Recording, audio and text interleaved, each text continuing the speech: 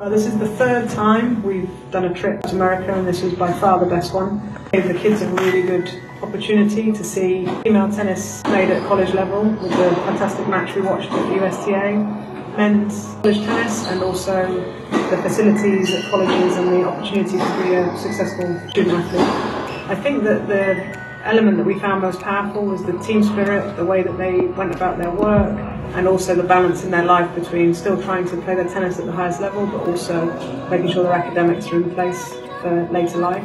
The kids thoroughly enjoyed the element of the team and really getting the pump out, which has come back to us already at Millfield. Um, we've seen the kids really enjoying that, that aspect a lot more since we've been back.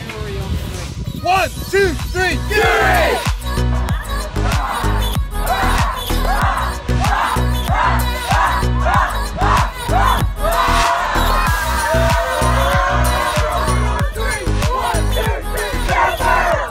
I think it was massively helpful all round really, not just from a tennis perspective, but just from the overall sort of lifestyle. Amazing for them to get a feel of what will be expected for them athletically and as well academically we had the chance to look around three universities, two of which are smaller private universities and one was a really big university, CF, so it was really good to see sort of the different aspects of, of college life and college tennis.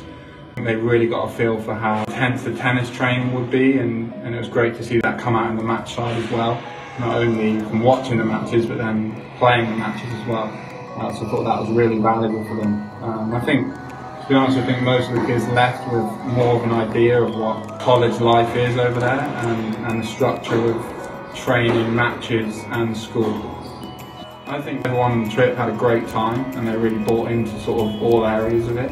They all came back overwhelmed but really excited about the potential of going to college in America and, and what that involves. Um, so I think the, the trip played a huge role in that. Um, again, the matches, the college visits, being over there, just sort of getting a feel for America itself um, as well. That was that was very key. Playing some Americans in the matches, um, just being exposed to all of those different areas. I think it will would have put a few of our lower six older students, would have put their minds at rest.